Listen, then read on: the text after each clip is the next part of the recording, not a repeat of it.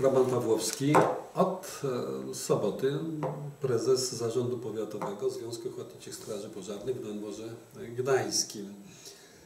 E, Nasza kampania sprawozdawczo-wyborcza w OSP e, odbywa się jakby co 5 lat i żeby dojść do tego zaszczytnego stanowiska, które w tej chwili e, w sobotę e, druhowie mi powierzyli, no to jest jakby taki kolejny szczeble, czyli no, jestem prezesem e, OSP w Mikoszewie, prezesem zarządu gminnego w, e, w Stegnie, no teraz w Nowym Dworze. No być może, że kolejna Gdański do Warszawy, jak, jak to żartuję. E, Ale powiem tak, że nie jest to takie łatwe zadanie, jakby się wydawało.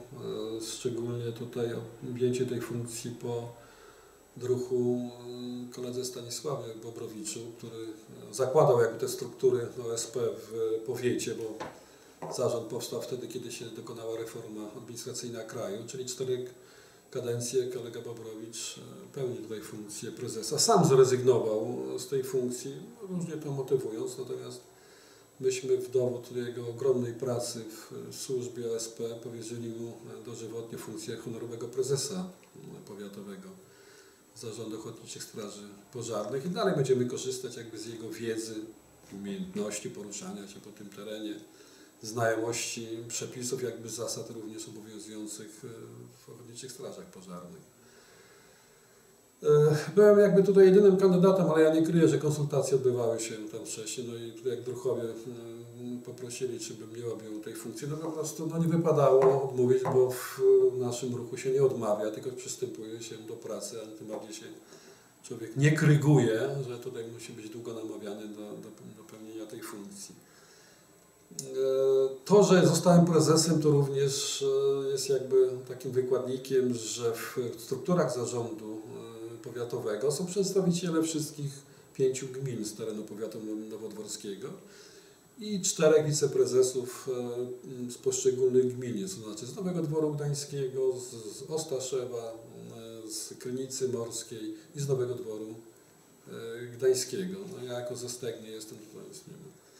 I tak wydaje mi się, że moja praca to będzie głównie polegała jakby na koordynacji tutaj tych działań. Broń Boże nie uzurpuję sobie mm, prawa tutaj do tego, że jestem wszystko wiedzący, pokazujący palcem, że należy to zrobić, tamto zrobić, bo generalnie należy do ludzi, którzy woli sam wiele rzeczy wykonywać, a nie tam posługiwać się innymi. Chcemy kontynuować to, co do tej pory tutaj było realizowane przez Zarząd Powiatowy i przez e, drucha Stanisława Bobrowicza, e, czyli kontakt z młodzieżą poprzez e, różnego rodzaju konkursy e, o wiedzy pożarniczej w szkołach e, podstawowych, gimnazjalnych i ponadgimnazjalnych. Również e, dalej będziemy realizować te zadania związane z zawodami pożarniczymi, z tym, mm, taką naszą wewnętrzną rywalizacją, czyli ta Olimpiada Płomień. To również chcemy dalej kontynuować. Nie wyobrażam sobie dalszej dobrej współpracy z samorządami, e, tym bardziej, że e, trochę na tej samorządności się znamy i nie kryję, że pozwala to łatwiej jakby się poruszać tutaj w poszczególnych e, samorządach, zarówno gminnych, jak i powiatowych, czy też e, wojewódzkich.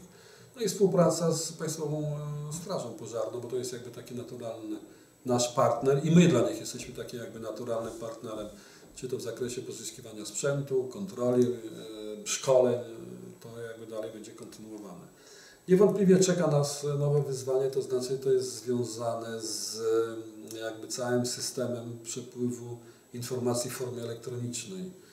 E, Bo w tej chwili to się odbywa jeszcze na takich starych zasadach, czyli jest kartka papieru.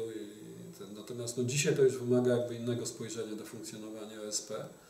Są takie programy, my w tej chwili w Stegnie próbujemy takie coś testować, że poszczególne jednostki OSP poprzez e, zarządy gminy i zarząd powiatowy byłyby wpięte w jakąś sieć i wtedy przesyłanie tych informacji byłoby prawie natychmiastowe, szybkie.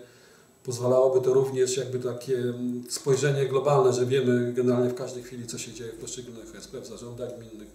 Czasami takie informacje są potrzebne, czy to w zakresie szkoleniowym, sprzętowym, również do określenia wydarzeń, czy spotkań itd. Także no, pierwsze początki, ale wydaje mi się, że również i klimat jest taki sprzyjający wśród e, tutaj ruchów w poszczególnych zarządach. Nie jestem człowiekiem taki konfliktowym, tak mam nadzieję, że uda się po, czasami po, pogodzić takie różne rzeczy, które przy, przeważnie występują jakby tutaj przy dzieleniu środków finansowych, bo to zawsze jest taki drażliwy temat, bo druhowie strażacy mają również taką tendencję, że lubią mieć dużo, pochomikować coś, prawda, czy to potrzebne, czy niepotrzebne, ale lepiej mieć. Także myślę, że e, uda się to wszystko tak jakby nam wspólnie tutaj zrobić, bo mówię, twierdzę, że to tylko może być wspólna praca wszystkich druhów z terenu powiatu nowodworskiego.